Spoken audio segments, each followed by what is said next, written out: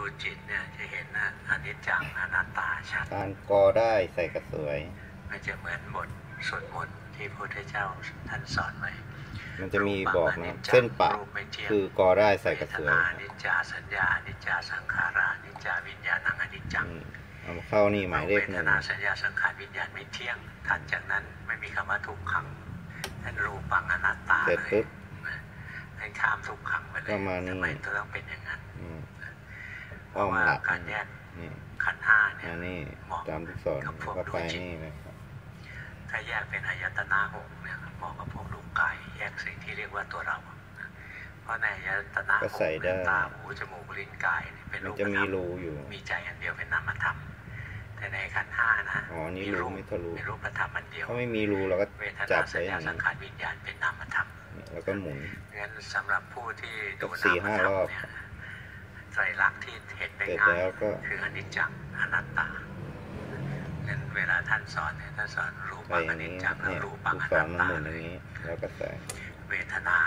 อนิจจัจะหมุนอย่างนี้เวทนาอนัตตาไปเลยวิญญาณเป็น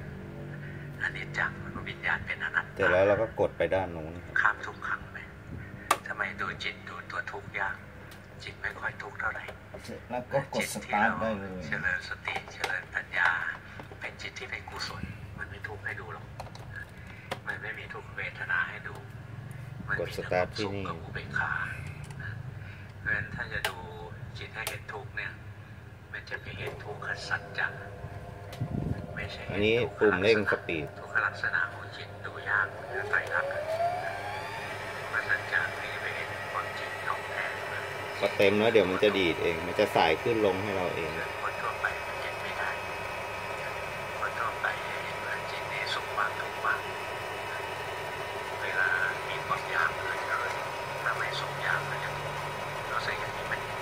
เวลาอยากไม่ทุกข์นะ น่ะนี่เต็มแล้วนะเราก็กดหยุดแต่ถ้าเมื่อไหร่ปัญญาแก่ก็ดันกลับรู้ว่าจิตเป็นตัวทุกข์จะอยากหรือไม่อยากจิตก็ทุกข์ตัวเนี้ยเรียกว่ารู้ว่าจิตเป็นตัวทุกข์รู้ว่าขันธ์เป็นตัวทุกข์นี่คือทุกขสัจจะไม่ใช่ทุกขลักษณะคำว่าทุกข์มีอยู่หลายที่นะ